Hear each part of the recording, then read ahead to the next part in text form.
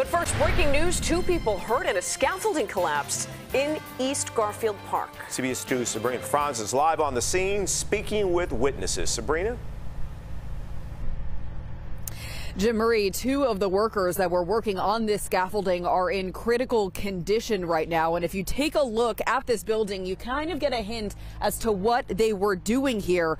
If you can see some of the brick on the third floor is missing. Now, this building was issued a permit on January 20th to rebuild and reset stones on that third floor, which appears to be why that scaffolding was lifted in the first place. And around 1:10 p.m. this afternoon, Chicago Fire Department tells us that two adult male workers fell as that scaffolding collapsed. Witnesses on scene said a stone fell on at least one of them. Likely some of that was being used in that construction. And both men, as we mentioned, were taken to the hospital to Stroger in critical condition. And witnesses on scene, they tell us they helped pull at least one man out of that rubble.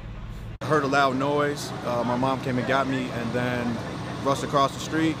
Saw a guy screaming. It was a thick piece of concrete boulder-like material on his chest, and two of the guys helped me grab it off him. I do what I can, but you know, when you see another civilian in that in that state, you, you have to you have to put your life on the line, just like the firefighters do.